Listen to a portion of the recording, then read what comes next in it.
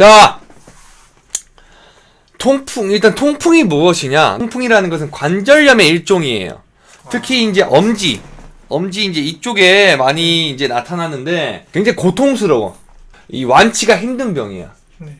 60%는 다시 75%나 60% 64% 75% 사이에는 다시 어, 2차 재발이 될 수 있을 정도 하지만 그래도 약을 먹으면 어느 정도 호전이 되는 이제 병이 통풍입니다. 그럼 통풍 여러분들 요즘 난리가 났죠? 요즘이 아니라 한 이제 몇 개월 전에 이제 얘기 났어요. 이제 어 연예인 몇몇 분과 여러분들 아시는 이제 무도인께서 이제 어 단백질 과다 섭취로 인한 통풍을 겪고 있다란 얘기가 나와서 굉장히 많은 헬스 분들께서 경각심을 가지면서 프로틴 쉐이크에 어 대한 이 부정적인 이 시선을 가지게 되었고요. 그 결과 운동을 잘 안 하시는 분들이나 단백질 쉐이크를 잘 먹지 않, 않는 거 서운하시는 분들, 특히 자연식을 드시는 분들은 굉장히 견고한 논리가 생겼어요. 어, TV에서 그랬다, 저기서 그랬다. 그래서 이제 가끔 제가 종종 물어봤는데, 제가 항상 그때마다 대답했어요. 단백질 과다 섭취 때문에 통풍 온 것이 아니다. 어, 그러니까 직접적인 원인이 아니다라고 얘기를 했어요. 미국에서는 단, 미국에서는 인구의 한 2% 정도가 통풍을 가지고 있대요. 이게 단백질이 베이스된 미국에서도 2%밖에 발병률이 나지 않는데 물론 좀 높은 수치겠지만 여러분들 생각하는 만큼 높진 않아요. 통풍의 원인은 일단 주된 원인은 유전적이에요. 네. 제네릭 팩터가 가장 커요.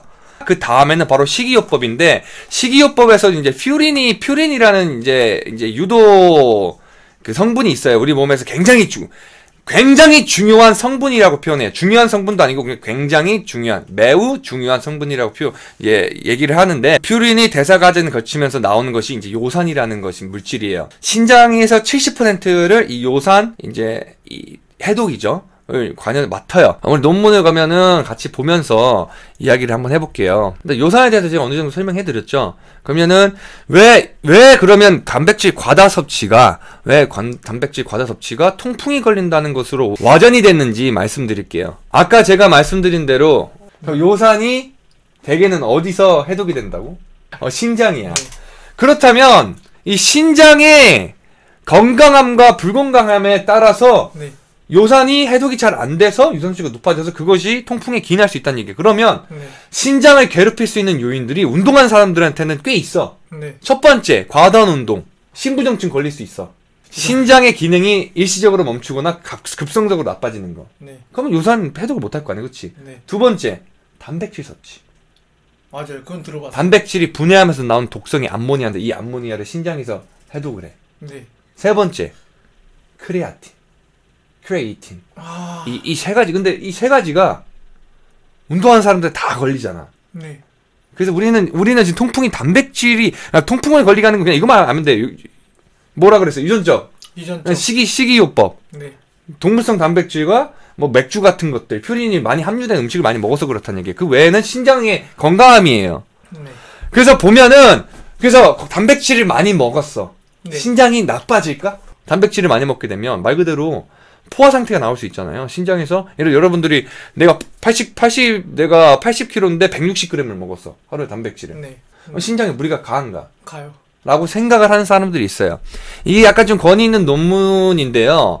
자, 여기서 보면요. 자, 일단은 결론만 말씀드릴게요. 너무 기니까요. 자, no symmetric evidence that very high protein intake directly damages kidney health 라고 나와요. 바로 나옵니다. 그러니까 어찌 어찌 어찌 했든 많은 양의 프로틴 섭취는 단백질 네. 섭취는 키드니 헬스 그러니까 신장 건강에 큰 해는 없다.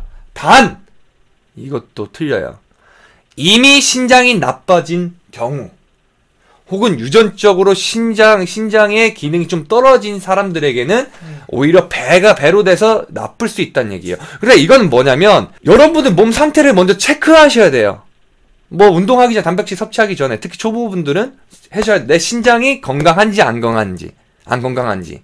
만약에 신부정증에 약간 좀 기질이 보이거나 아니면 일반 사람보다 신장의 기능이 좀 저하되신 분들은 말 그대로 단백질을 과다 섭취하게 된 독이 될 수 있어요. 어떻게 배로? 근데 건강한 사람들은 대부분 단백질 총광량 때문에 간이 신장이 나빠지고 좋아지고 이런 것이 없다. 자기 스스로 좀 알아야 돼. 단백질을 많이 먹었는데 갑자기 피부 트러블이 나거나 예, 여러분 그런 경우 있죠. 피부 트러블이 나거나 갑자기 만성적인 피로가 오거나 네. 몸이 맞지 않는다는 것을 느꼈으면 신장이 약간 좀 나쁠 수 있다. 무조건 신장이 나빠서 오는 건 또 아니야. 네. 그건 아니에요, 여러분들. 근데 그걸 한번 확인을 하셔야 돼요. 두 번째, 크레아틴. 네. 크레, creatine은 우리 몸에 다 들어있어. 네 뇌에도 필요해. 특히 신생아들은 creatine이 부족한 경우에 올 때는 투여를 해. 네. 우리 몸에 무조건 필요한 거예요. 크레아틴 없으면 운동을 할 수가 없어. 네. 근데 이것을 이제 구경으로 이제 섭취를 하잖아? 네. 대개는 이제 로딩기를 다 빼고선 대개 5g을 섭취하라고 이제 권장을 해요. 크리에틴 같은 경우도 크게 자 여기 또 있어요. Detrimental renal effect of creatine supplements on kidneys. 그러니까 똑같이 신장에 큰 부정적인 영향은 없다 얘기해. 근데 이 크리에틴에 대해서 좀 더 우리가 알고 넘어가야 될 것이 있어요. 섭취 방법에 대해서 알아야 돼. 어, 심화적인 것으로 좀 들어가 볼게요. 많은 양의 크레아틴 섭취가 됐을 때에 키드니나 그러니까 신장과 간에 이- 이제 발하는 네. 영향을 이제 조사한 건데 연구한 건데 다 떠나서 다 읽었어요. 다 떠나서 여러분들이 고려할 것은 뭐냐면 여기 기준점은 일단은 로딩기가 있어요. 5일 혹은 7일까지 하루에 20g을 먹은 상태에서 8주 동안 5g씩 먹었어요. 그랬더니 결과가 어떻게 나왔냐면 자 여기서 이렇게 나옵니다. 우리가 봐야 될 것은 바로 이 두 번째 creatine이라 써 있는 거랑 exercise creatine이에요. 무슨 얘기냐? 8주 동안 검사해서 이제 혈, 혈중을 혈중에서 커 크레아틴 얼마나 녹아 있는지 보면 될 거 아니야, 그렇지? 네. 너무 과하다. 우리 몸에서 소화가 안 된다 하면 많이 있을 것이고 네. 잘 이제 뭐 사용됐다 먹은 것들이 그러면 적을 거 아니야, 그렇지? 네. 여기서 말하는 creatine은요 운동을 안 한 그룹이에요, 8주 동안. 음.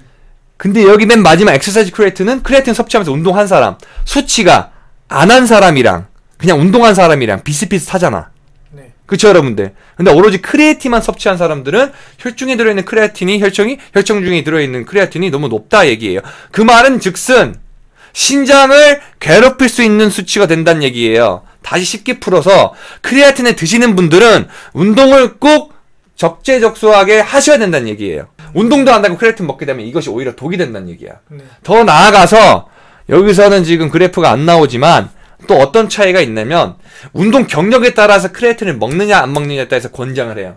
크레아틴을 이제 우리 몸에서 이제 사용할 수 있잖아요. 그렇지? 근육 내 크레아틴 들어가 있는데 운동 경력이 있는 사람들은 그 크레아틴을 분해를 잘하고 사용할 수 있는 법을 배워. 우리 몸 체질이 바뀐다는 얘기야. 네.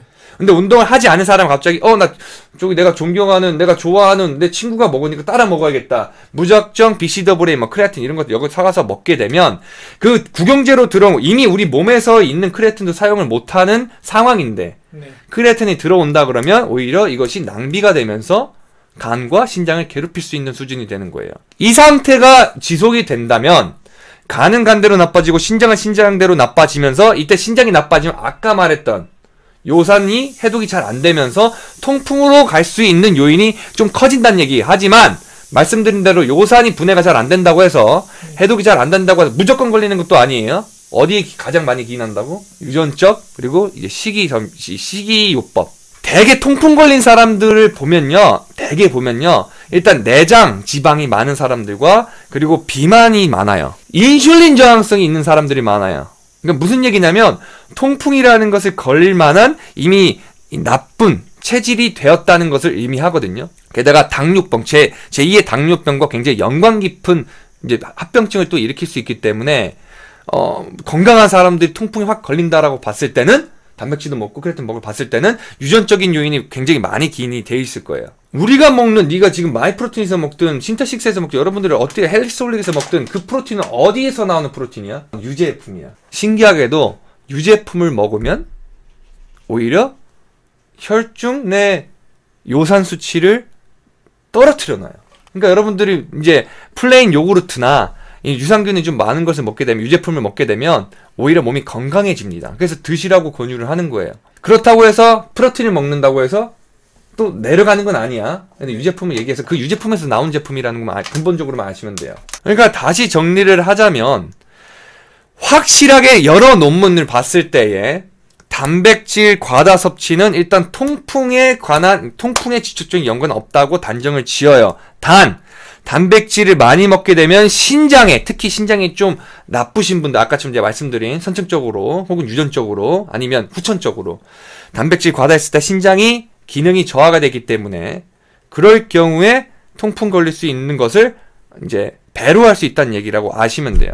건강하다는 이제 건강하다는 이제 가정하에 운동 경력도 있고 그리고 단백질도 진짜 뭐 키로당 2, 2, 2, 2g 뭐 3g 이렇게 정말로 초과다 양으로 드시지 않고 그리고 운동하신 분들은 크리에틴을 권장량 4g을 권장하고요. 운동 안 하시는 분은 3g 이하로 드셔야 되는데 이 적정량을 지켜 주신다면 여러분들 뭐 통풍 뭐 유전적인 거 다 떠났을 때 통풍 걸릴 수 있는 요인은 없다고 봐요.